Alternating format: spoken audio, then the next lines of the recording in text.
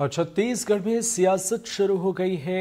एक और कांग्रेस ने छत्तीसगढ़ बंद का आह्वान किया। 18 सितंबर को जेल में प्रशांत साहू की मौत को लेकर बीजेपी को जमकर घेरा भी है। और क्या कुछ चीज़ें चल रही हैं, हमारी खास रिपोर्ट में देखिए।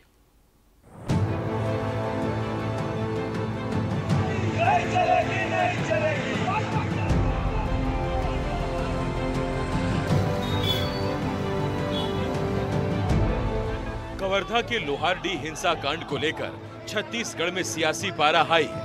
कांग्रेस ने शनिवार को छत्तीसगढ़ बंद का आह्वान किया। कांग्रेस प्रदेश अध्यक्ष दीपक बैज ने तमाम लोगों से बंद का समर्थन करने की अपील की। हालाँकि छत्तीसगढ़ चैम्बर ऑफ़ कॉमर्स ने इस बंद का समर्थन नहीं किया।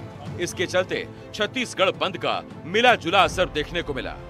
बात करें पूरे मामले की तो 15 सितंबर को ग्रामीणों ने उप सरपंच के घर में आग लगाई। गाँव के एक युवक की हत्या करने के शक में ये आग लगाई गई थी। आग में जलकर गाँव के उप सरपंच की मौत हो गई। उनहत्तर लोगों की गिरफ्तारियाँ हुई और 160 पर केस दर्ज हुआ। 18 सितंबर को जेल में प्रशांत साहू की मौत हो गई। 18 सितंबर को प्रशांत साहू की मौत के बाद प्रदेश में साहू समाज और कांग्रेस ने नाराज़गी जताई। जहाँ सीएम साय ने मामले के मजिस्ट्रियल जाँच के आदेश दिए तो वहीं दुर्ग सेंट्रल जेल पहुँचे डिप्टी सीएम विजय शर्मा ने कहा कि पूरे थाने को बदल दिया गया है। एसपी को बदल दिया गया है और एडिशनल एसपी को सस्पेंड कर दिया गया है।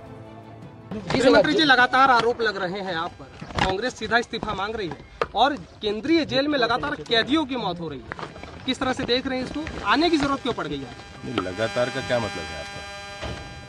कांग्रेस आरोप लगा रही कांग्रेस आरोप लगा रही है वो अलग है। आप तो समीक्षा कर लें पहले।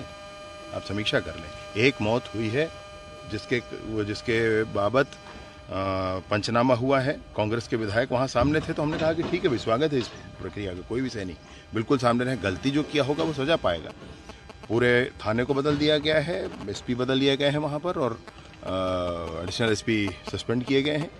जाँच आयोग बिठाया गया है माननीय मुख्यमंत्री जी के द्वारा। उस पर जाँच होगा जो गुनागार होंगे वो सजा पाएँगे उसमें कोई संशय नहीं। क्या इसमें आने वाले दिनों में सीबीआई जाँच की भी जाँच नहीं नहीं एक एक जाँच कमेटी बनी है माननीय मुख्यमंत्री जी ने कल बनाया है तो वो जाँच कमेटी पहले अपना काम कर ले सर जेल में किस तरीके से मारपीट के जो आरोप लगे क्या सच जेल में मारपीट नहीं हुई है।